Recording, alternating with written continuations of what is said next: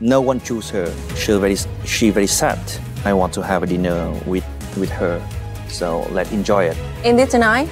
right now. So thanks for the talking.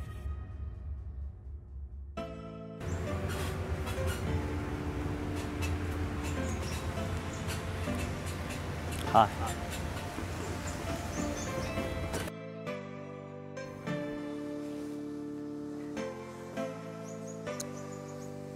Ủa?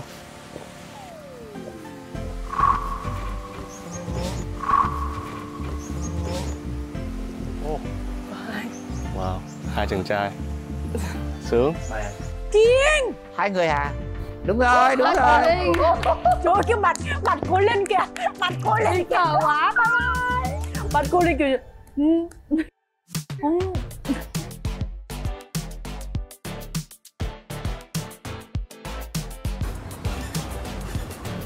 Ellie What happened? What happened? I don't think Super double date, yeah Hào hảo kim chi, cay dịu chua thanh, vị ngon chứ xanh.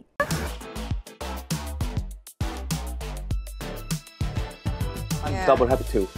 Awesome. Me too. Me, I want. Oh, okay, okay Yeah. And now, what do you want to uh, have more information about me?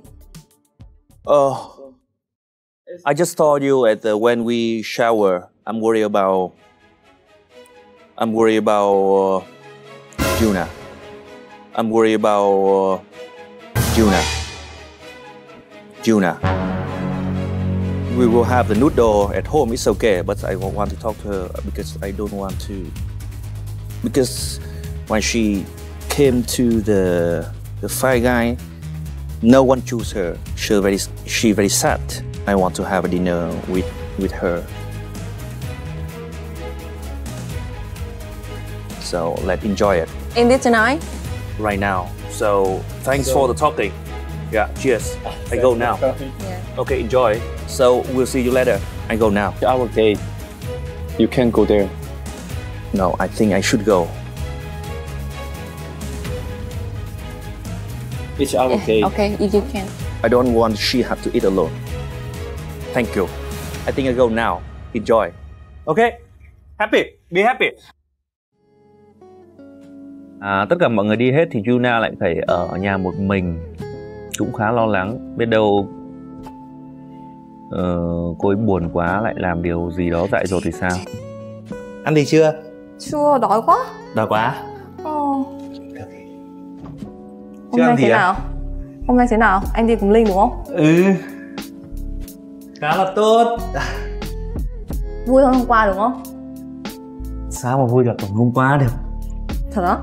Thật mà à, thành thực mà nói thì ờ, khi mà anh ờ, anh đã định lên xe với em rồi đấy ờ, thế nhưng mà anh đã chọn là không lên bởi vì anh muốn hiểu thêm về linh. Ừ. Ừ, ok em hiểu rồi. Ừ. Đúng là chúng ta có quyền lựa chọn mà với cả em cũng nghĩ là mình nên tìm hiểu nhiều người khác nhau để hiểu là mình thấy ai hợp nhất ý. Đúng rồi. Anh chọn người khác rồi anh lại quay về đây với em đấy thôi. Anh về đây nhìn thấy em này anh vui lắm. Ok nha. Ừ uy tín.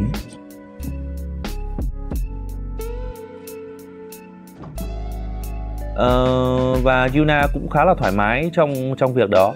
Ừm. sau đó thì mình tôi cảm thấy khá là an lòng.